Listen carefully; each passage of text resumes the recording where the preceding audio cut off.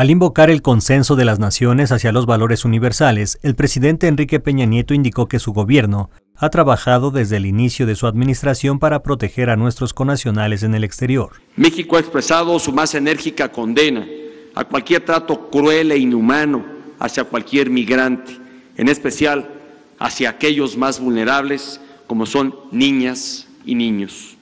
Con firmeza, el Gobierno de la República ha trabajado diariamente desde el inicio de la Administración para proteger a nuestros connacionales en el exterior.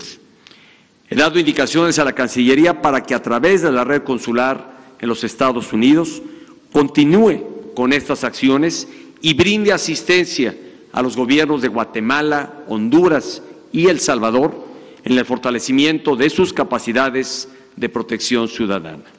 Al asistir a la toma de protesta, el nuevo Comité Ejecutivo y Consejo Directivo 2018-2019 de Concanaco Servitur, el jefe del Ejecutivo hizo referencia al próximo proceso electoral del primero de julio. Estamos a 11 días de la elección más grande de la historia de nuestro país.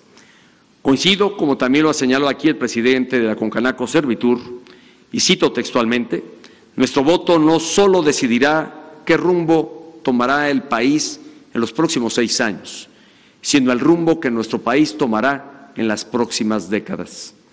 Por eso es importante que los ciudadanos aprovechen estos últimos días para conocer y comparar las propuestas de todos los candidatos que estén pidiéndoles su voto.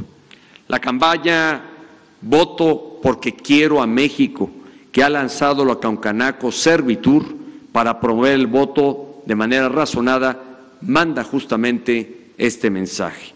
Al final de cuentas, lo que deseamos todas y todos los mexicanos es que a México le vaya bien, que construya sobre los logros alcanzados, que siga en la ruta de crecimiento, de construir mayor grandeza y de abrir oportunidades para las y los mexicanos, y muy especialmente para las nuevas generaciones. Durante el acto que se llevó a cabo en el Salón Adolfo López Mateos de la Residencia Oficial de Los Pinos, el presidente Peña Nieto mencionó que en los últimos días artistas y deportistas mexicanos han destacado en el escenario internacional. Está el caso de Isaac Hernández, quien ha sido reconocido como el mejor bailarín del mundo, el equipo nacional de nado sincronizado, que conquistó siete medallas de oro recientemente en el Mundial de Grecia, y por supuesto a la histórica victoria de la Selección Nacional de Fútbol en Rusia frente a los actuales campeones del mundo. Esta nueva generación de mexicanos, cuyo éxito no se limita al arte o el deporte, sino que está presente en muchos ámbitos. Ha logrado refutar el escepticismo y, vencer ideas preconcebidas o estereotipos que hay de los mexicanos. El presidente de la República indicó que se trata de una generación que está logrando impulsar el cambio.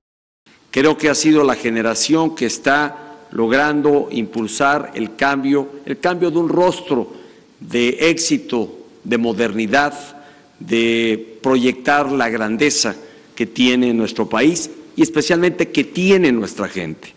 Se trata de una nueva generación de mexicanas y mexicanos que ha logrado transitar del sí se puede al ya se pudo. Es una generación que trae una mentalidad ganadora, emprendedora y creativa. Una generación que está moviendo el país a una velocidad como no habíamos visto en años recientes. Con información de Araceli Rivera, Notimex.